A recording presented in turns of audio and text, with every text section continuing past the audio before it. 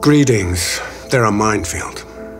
Do you kiss on the cheek, but then how many kisses?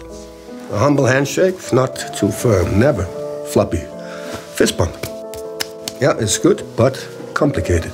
All the Danish way.